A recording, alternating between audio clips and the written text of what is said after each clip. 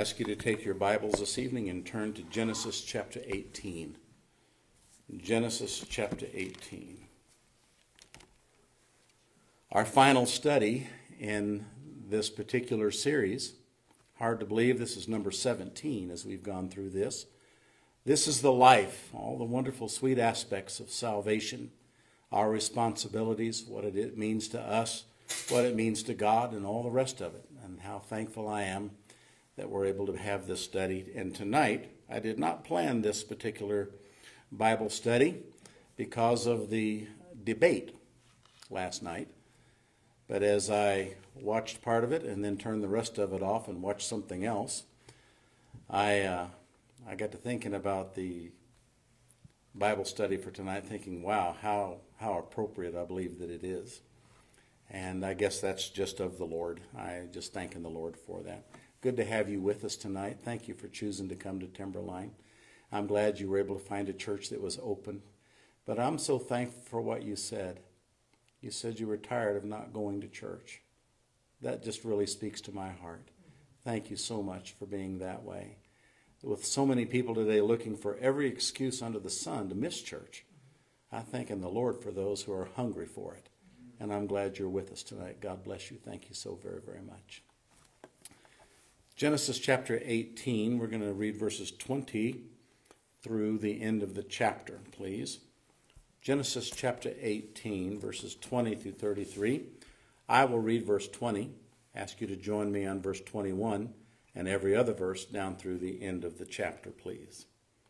And the Lord said, Because the cry of Sodom and Gomorrah is great, and because their sin is very grievous, I will go down now and see whether they have done altogether according to the cry of it, which is come unto me, and if not, I will know.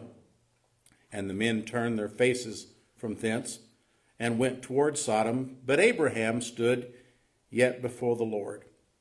And Abraham drew near and said, Wilt thou also destroy the righteous with the wicked?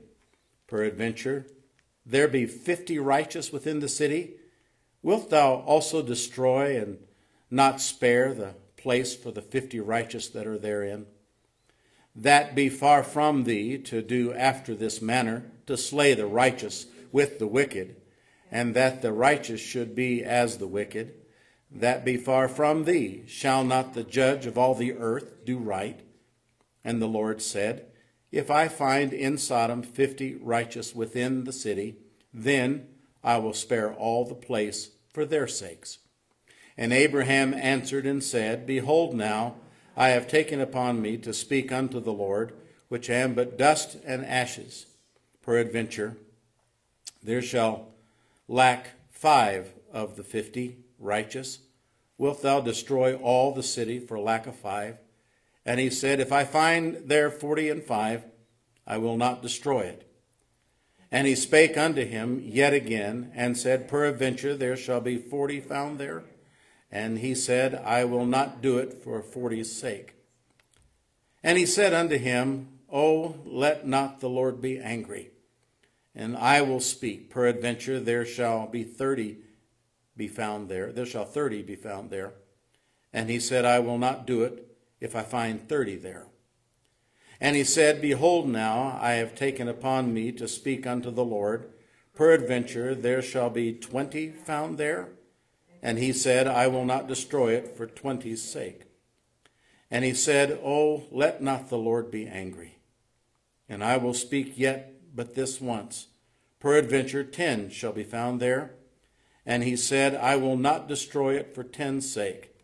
And the Lord went his way as soon as he had left communing with Abraham, and Abraham returned unto his place. Tonight I want to bring the final Bible study in This is the Life, simply entitled Salvation and the Saving of America.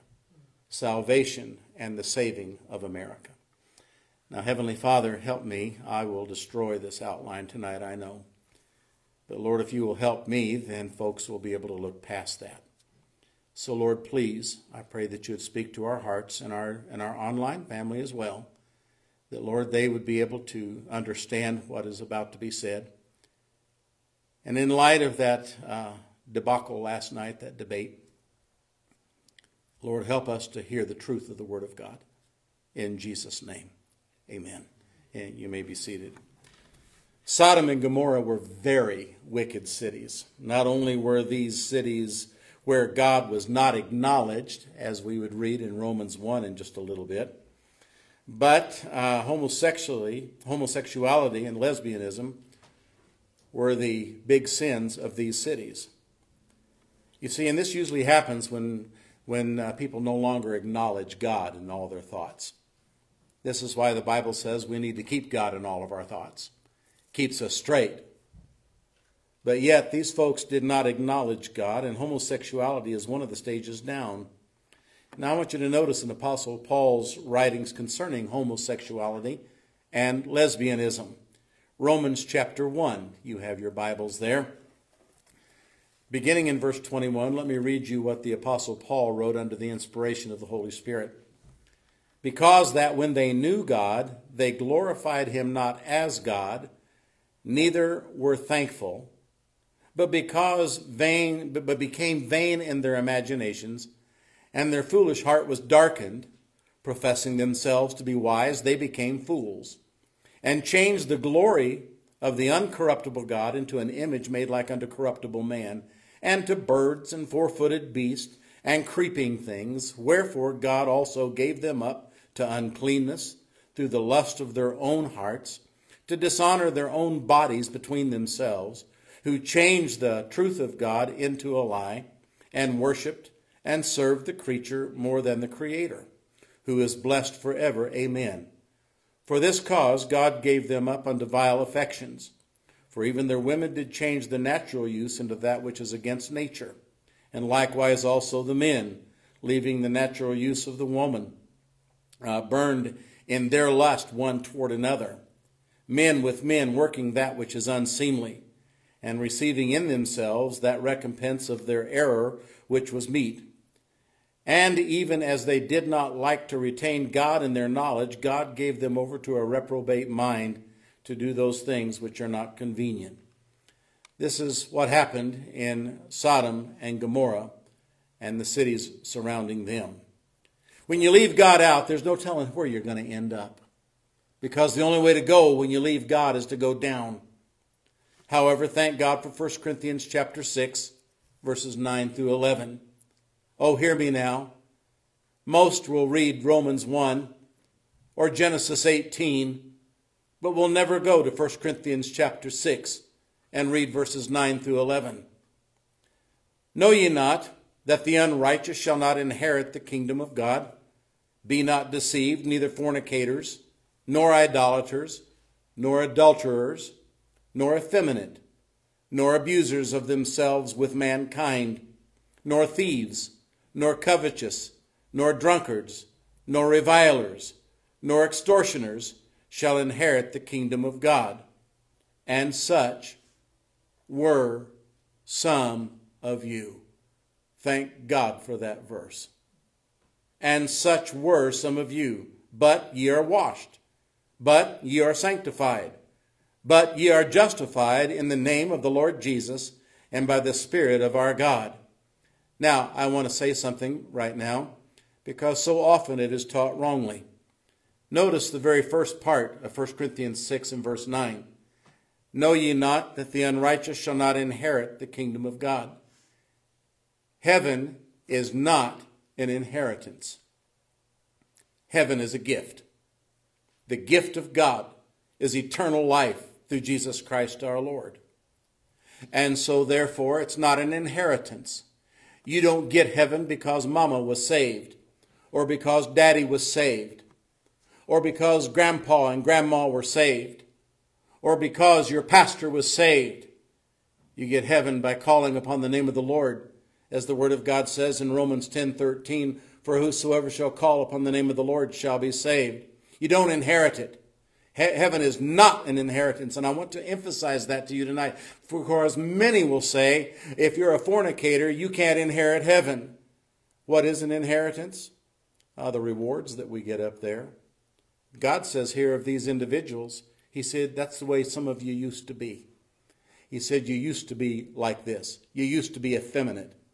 You used to be like a homosexual. You used to be an abuser of yourself with mankind. He said, But these words, he said, and such were some of you, but ye are washed, but ye are sanctified, but ye are justified in the name of the Lord Jesus and by the Spirit of our God. Understand, heaven is a gift, not an inheritance. My children will not go to heaven because I'm saved.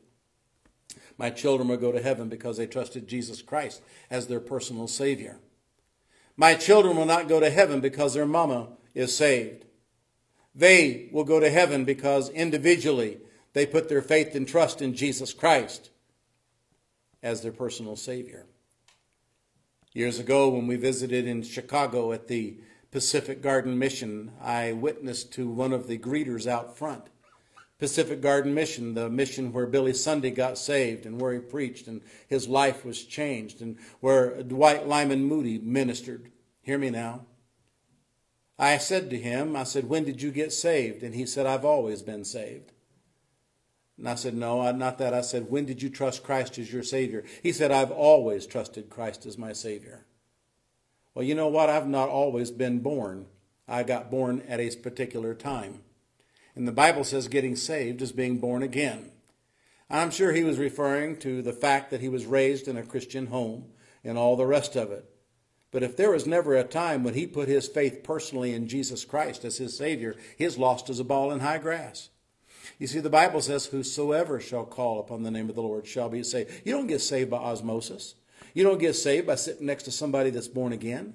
You don't get saved by going to a good Bible preaching church. No, that doesn't save anybody. Whosoever shall call upon the name of the Lord shall be saved. John 1:12 But as many as received him to them gave he power to become the sons of God even to them that believe believe on his name. John 3:16 For God so loved the world that he gave his only begotten son that whosoever believeth in him should not perish but have everlasting life.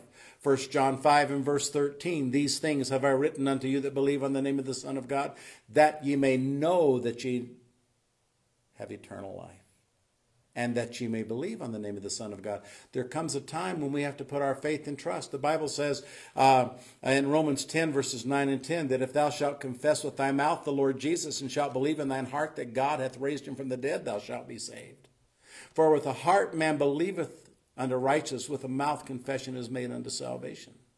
Acts chapter 8, verses 36 through 38, after Philip led the black Ethiopian man to Christ that was coming up from Ethiopia going to Jerusalem. He was reading Isaiah chapter 53.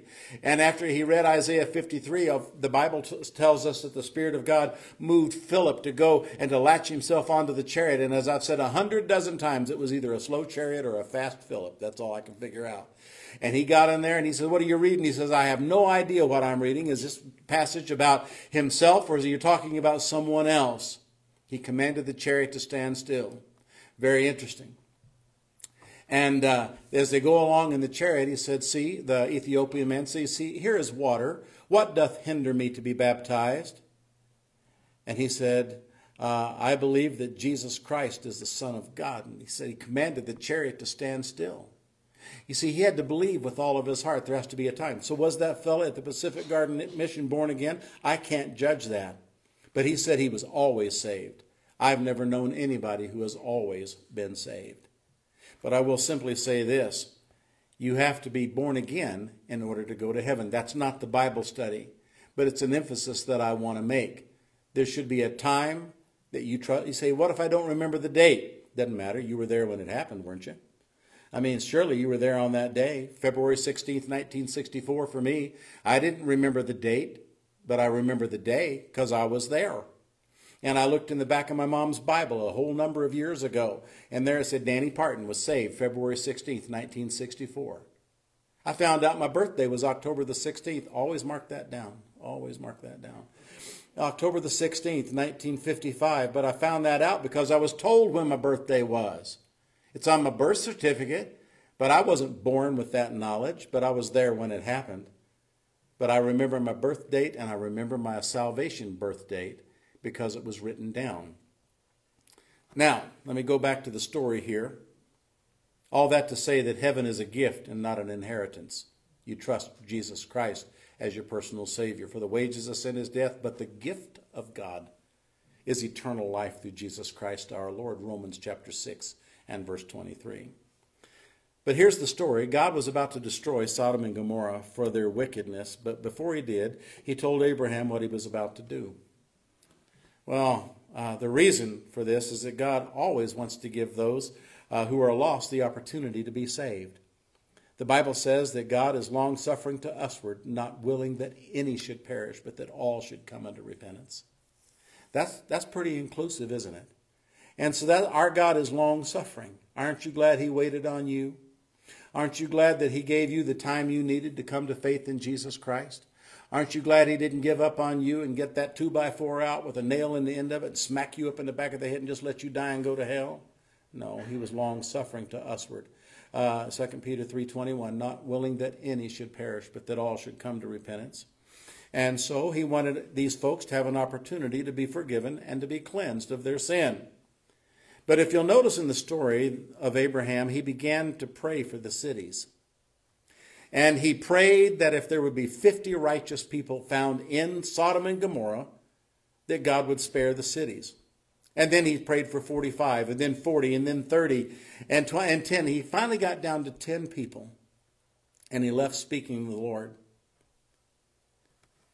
And if he could find just 10 people who had had their faith in God, I'll use the New Testament terminology because salvation has always been by grace and always been by trusting the Messiah, whether you are trusting the Messiah that was to come, that was promised, or trust the Messiah that already came, like we do in the New Testament. It's always been by grace through faith. It's never been by the blood of bulls and goats and sacrifices and incense being burned.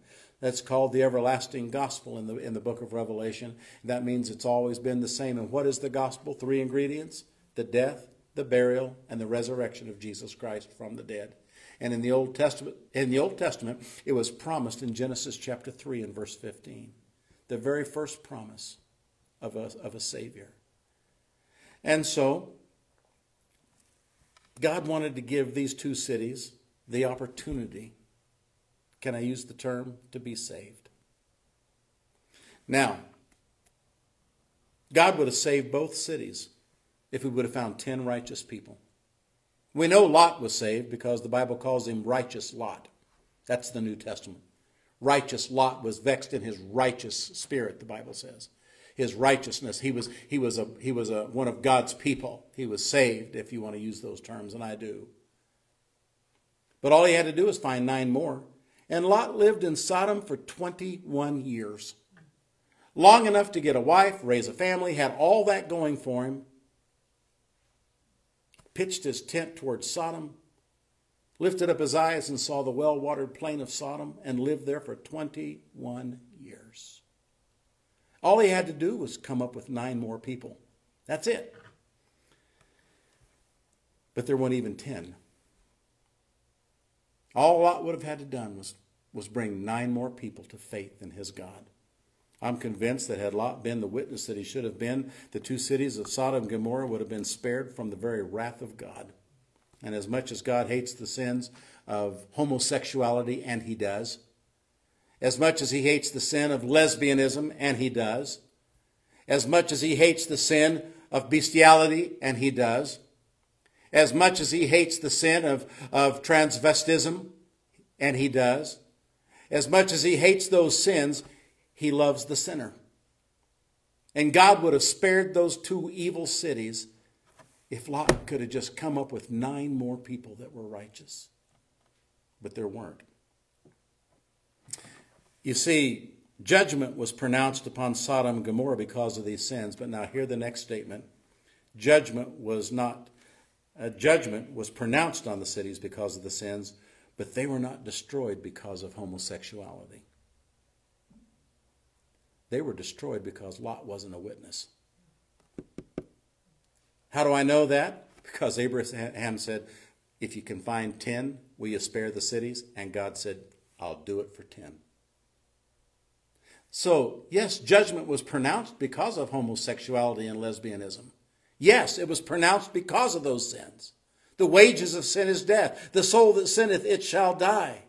Yes, But God would have saved both of those cities if Lot would have been a witness in 21 years and come up with nine more righteous people. God is long suffering, isn't he?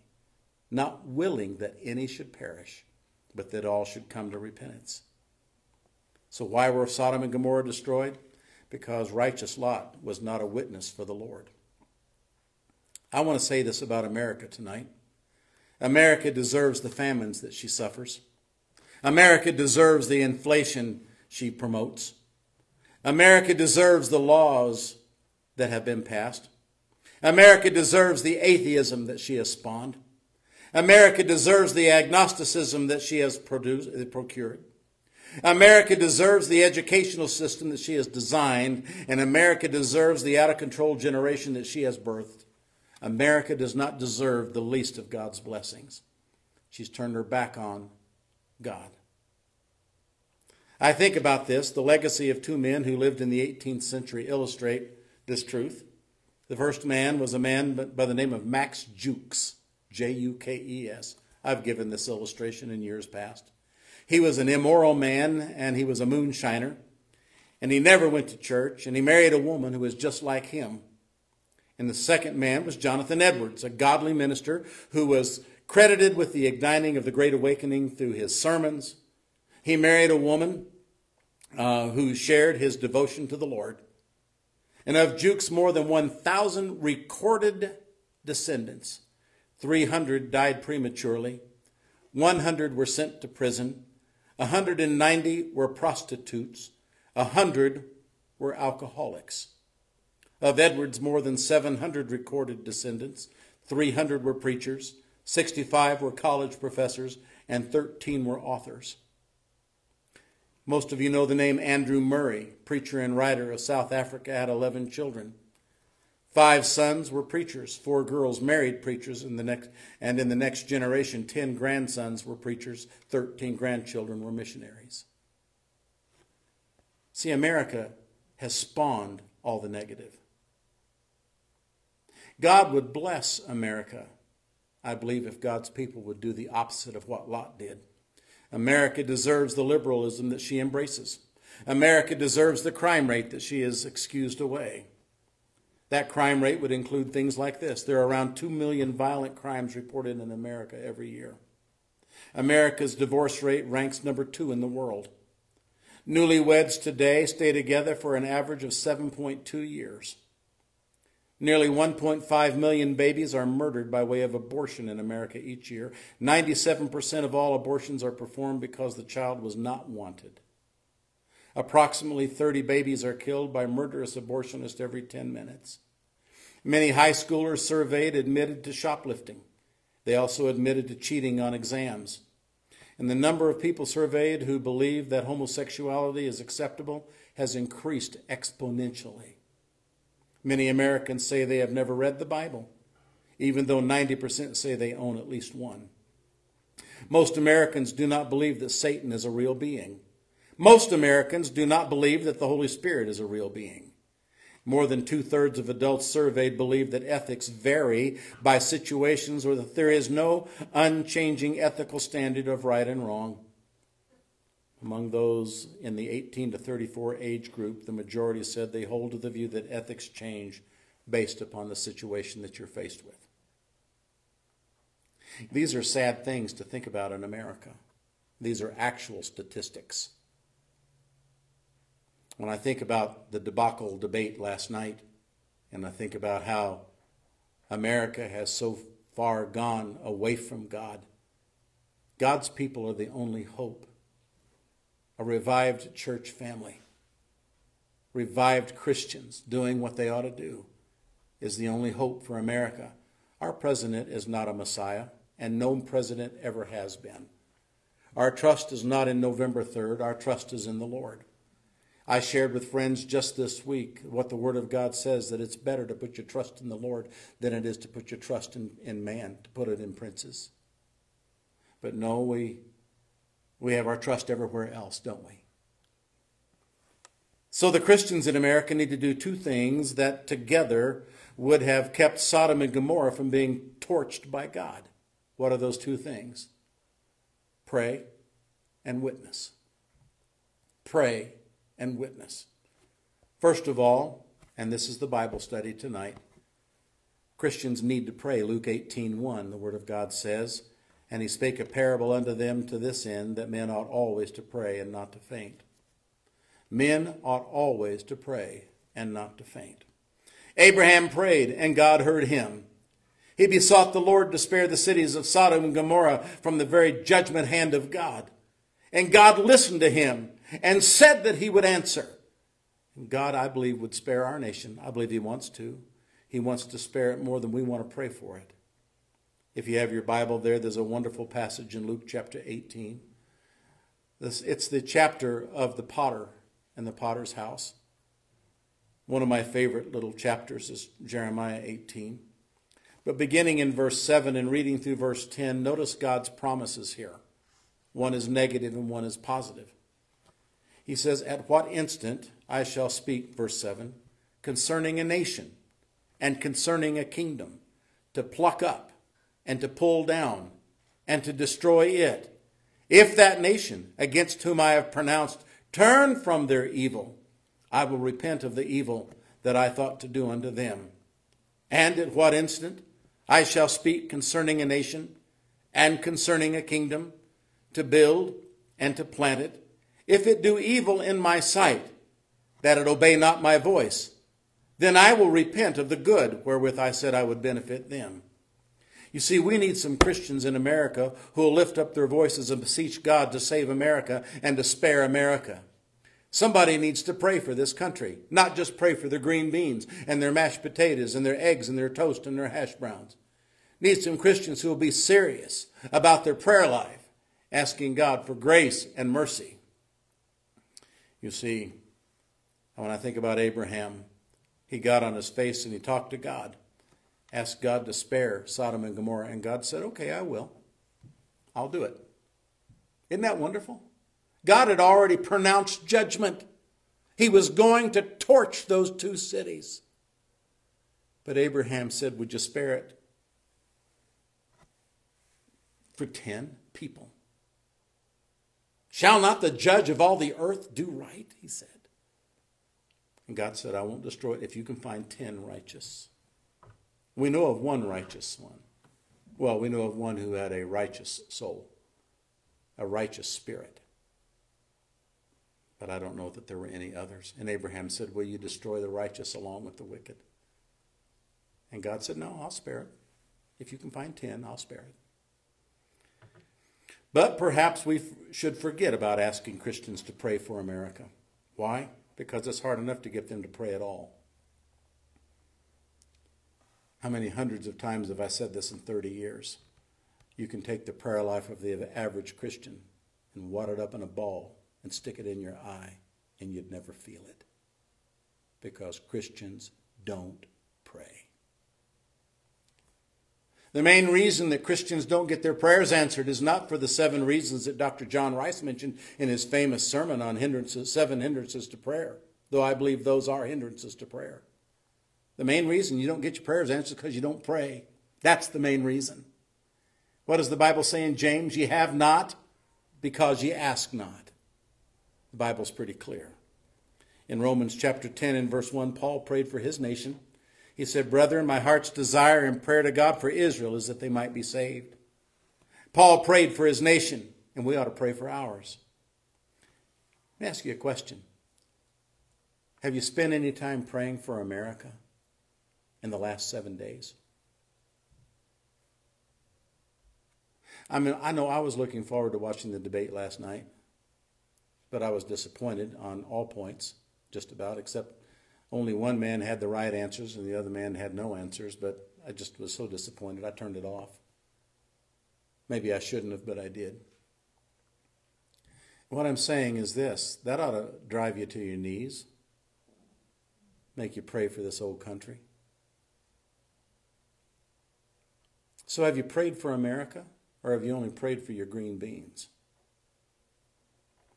The Bible says in Proverbs 21 and verse 1 the king's heart is in the hand of the Lord. As the rivers of water, he turneth it whithersoever he will. The king's heart can be turned. Paul prayed for his nation. God said the king's heart can be turned. The picture that's drawn in Proverbs 21 1 is not of a mighty rushing river, it's that of a, of a field that has irrigation. And how maybe one row wasn't getting enough water, and he would take his foot and he would push dirt so that when the water would run, the, it would hit that dirt wall and go down a particular row That's what the picture is that's drawn here. As the rivers of water, he turneth it whithersoever he will, you see. The Bible says, pray without ceasing. It's on the front of your prayer bulletin. The Bible says, watch ye therefore and pray always. The Bible says, men ought always to pray and not to faint. Former President Ronald Reagan said this in 1984, and I quote If not us, who? And if not now, when? If not us, who? If not when? Now. It's very interesting. There are satanic groups that are praying against America. Where are the people of God praying for this old nation? Number two, I said that there were two things that we could do. Number one is Christians ought need to pray. Number two, Christians need to witness. Christians need to witness. Proverbs 11:30, the word of God says, "The fruit of the righteous is a tree of life, and he that winneth souls is wise." He that winneth souls is wise. There are many critics today that say that's not talking about soul winning. Of course it is. The fruit of the Spirit is love, joy, peace, long suffering, gentleness, goodness, faith, meekness, and temperance. The fruit of an orange tree is an orange. Fruit of an apple tree is an apple. Fruit of a banana tree is a banana. Fruit of a Christian is what? Another Christian. We're to produce other Christians. Not by having children and rearing them in a Christian home and leading them to Christ only, but we're to be bringing people to faith in Christ, our witness. As I said, had Lot been a witness and been the witness that he should have been, God would have spared the cities of Sodom and Gomorrah. Think about that. All the responsibility was on whether or not he in 21 years could come up with nine other people. But in 21 years, he couldn't come up with nine. Abraham said it right. Will you destroy the righteous with the unrighteous, with the wicked? Shall not the judge of all the earth do right? Lord, would you spare the cities of Sodom and Gomorrah who are committing horrible, egregious uh, sexual immorality with homosexuality and lesbianism and bestiality and everything else? Can you imagine? And God said, Okay, I'll spare them. Find me 10. Find me 10. Abraham surely thought that Lot would have at least won his family to Christ. Instead, they won him over. And all that was needed to save the cities were 10 righteous, that is, 10 people who were saved. And we know that Lot was saved. The Bible says, righteous Lot, righteous spirit. If he would have simply won his wife, his two daughters, and their husbands to the Lord, he would have only needed four more people to spare the cities in 21 years. 21 years. But his wife was lost. His two sons in law stayed behind. There is no record that his daughters were ever coming to faith in God. And for more than 20 years, he lived in Sodom and didn't have a single soul saved, not even his family. Not even his family. There is no testimony in the Word of God that he tried. There's no testimony anywhere in the Word of God where he was a witness of any kind to his family just that God destroyed the cities because there were not 10 righteous people. Lot's testimony was so poor that he thought it nothing to lie as to whether or not his daughters were even married. He offered them as virgins to the wicked men and women of Sodom and Gomorrah. So, are you a witness for the Lord Jesus, or is your, is your life a witness against him? No one in Sodom and Gomorrah knew Lot was saved. No one. Not that we know of. The Bible gives no testimony that anybody knew Lot was saved.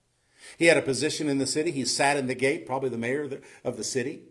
He had a place of leadership in the city. He had been there 21 years, raised a family, found a wife. No record anywhere in the Bible that anybody even knew that he was a follower of God at one time, anyway. If America is will ever come back to God, America is going to be brought back one soul at a time. And as I said earlier, former President Ronald Reagan said in 1984, "If not us, who? And if not now, when?" If not us, who? And if not now, when? So to bring this Bible study to a close tonight, and I know this has been very, very heavy. I realize that. And it's really been more of a sermon than it has been a study, though there's been a lot of study material being given out.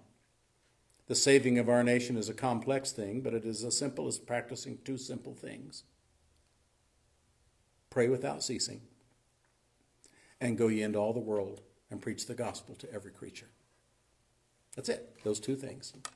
You realize when you go back to Sodom and Gomorrah in this story, those are the only the two ingredients that God would have blessed. Abraham prayed, and Lot, if he would have witnessed, the two cities could have been spared. And I wonder if God would do that for America. If God's people would get serious about their prayer lives, and if God's people would get serious about getting the gospel out. That track rack out there, now, I know we have less people now than we used to. Folks have moved away. I realize that. But I remember I used to fill that track rack every week. It holds 1,500 gospel tracks. And that's if you don't squish them real tight. If you squish them real tight in the track rack, you can put a whole lot more in it. But I used to fill it every week. I don't fill it every week now, and I understand we have less folks. I understand that. But with the folks that we do have, are the tracks going out? I love it when people visit our church. They go to our track rack and they fill their purses and their pockets with our tracks. I think that's a wonderful thing. They're interested in getting the gospel out. But you might be surprised who would actually read one of those gospel tracts, like the, like the Arab young man that I spoke to at the gas station a few years ago. I went in to pay for my gas, and he was the attendant there, and I handed him one of God's Simple Plan of Salvation tracts. When I walked out of the place, he was leaned up against the counter, had it open, and he was reading it. He was reading it. I'm talking your waitresses and your waiters and your store people and Walmart employees and city market people and all the rest of it. You remember me telling you the story about two of our teenagers who up up in Woodland Park who I got a call from the Woodland Park High School principal. He called me and said, "Some of your young people are putting your gospel pamphlets in our teachers' mailboxes." And I want you to take care of it. And I said, Oh, I will, because I knew exactly who it was. I pulled those two girls in and I said, I understand. I got a call from your principal this week. And I understand you all have been putting gospel tracts in the teachers' mailboxes. Yes, Pastor, we have been. Said, I have something to say to you. I said, keep it up. Keep it up. Don't stop. Keep getting those gospel tracts in those lockers and in those mailboxes. Keep on getting the gospel out. And both of those young ladies to this day are still serving the Lord to some capacity, and that's a great blessing. Don't miss what I'm saying here. Sadly, these are the two areas, praying and witnessing, where most Christians fall short more than any areas in their life. Do you pray? Do you witness? We ought to do what we can to help save our nation. You heard what went on last night if you watched any of the of the debacle, the, the debate, whatever you want to call it. This whole country needs Jesus, and it needs him desperately. And the unsaved are not going to share the gospel. Jesus said, Without me, you can do nothing. So you can't count on the unsaved getting the gospel out. Lord, Lord, did not we do many mighty things in your name? Yeah, a lot of things are mentioned there, but witnessing is not one of them. The unsaved are not interested in getting people saved.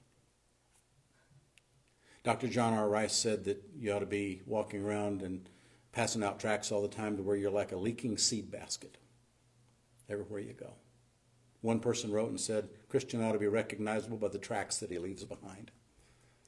And I think there's a lot of truth to that. One of our men one time was at Walmart witnessing to someone at the sports counter. One of our other people listened to him as they witnessed. All I'm saying is this is that there's a whole world out there that needs the Lord Jesus. But you know what? We can't touch the whole world. We got a community that we can touch. And we can touch it and nobody else can. America needs you to pray, and America needs you to witness. And those of you who are listening online, this message is for you as well. It's for you as well. I remember that one of my friends who works at a radio station here in town had me come on their radio station and present the gospel. Did it a number of times.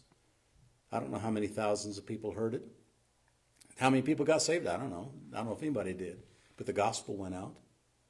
What I do know is this is that nobody else is going to do it. We have to take that responsibility upon ourselves. So grab you some gospel tracts on the way out the door. Give yourself a goal. Most people are scared to death to pass out a gospel tract. They're not scared to pass out anything else, but they're scared to pass out a gospel tract. Grab 10, and in the next seven days, pass out 10 gospel tracts. Or give yourself a number to do, and then fulfill that as the week goes on. Shall we stand?